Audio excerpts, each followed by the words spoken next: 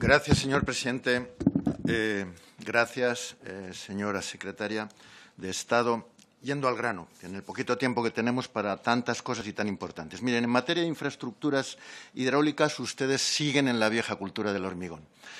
Y además lo hacen mal centran la inversión en grandes presas que son tan conflictivas e inútiles como caras y peligrosas. Sirva de ejemplo al respecto Terroba y Enciso en Rioja y el recrecimiento de Yesa en Aragón, Navarra.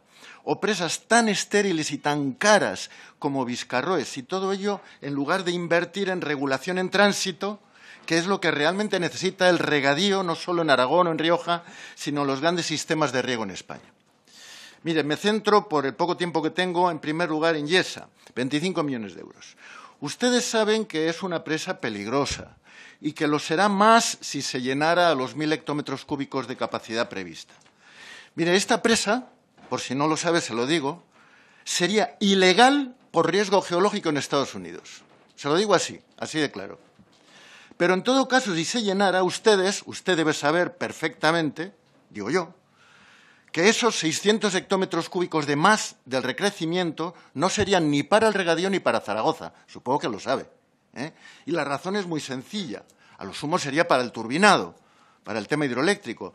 Supongo que lo sabe porque el sistema de Bardenas, los canales de Bardenas, funcionan prácticamente al 100% en capacidad de transporte en temporada de riego. No cabe más agua.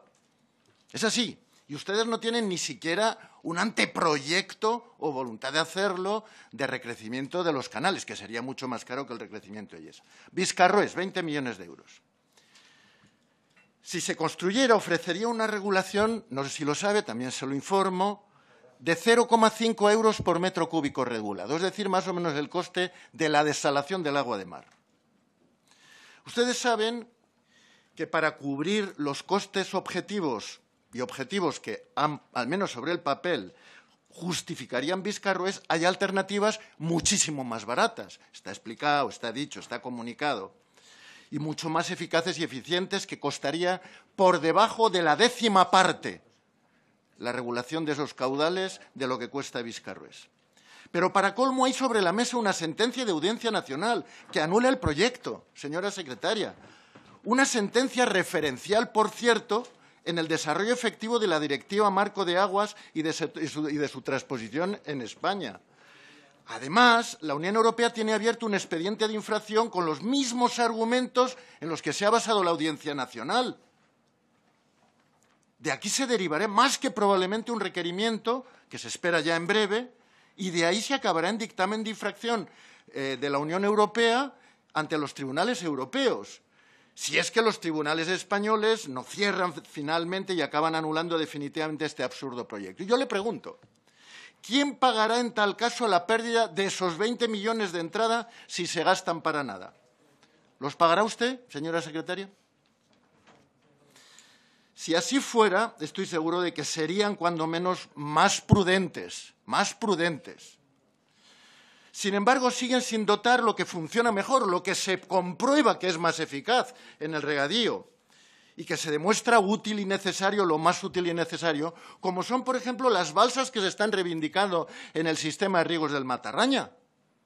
Son ejemplares, es un sistema ejemplar del que podemos estar orgullosos y piden que se cierre, para eso ni un euro o la regulación en tránsito de Bardenas y Monegros. Es lo esencial que se necesita en Bardenas y Monegros, la regulación en tránsito.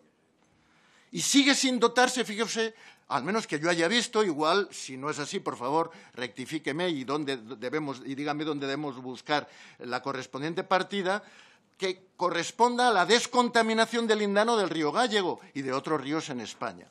Ni un euro que yo haya visto. Y por último, Respecto al canon hidroeléctrico, ustedes prevén 220 millones de euros. ¿A dónde van?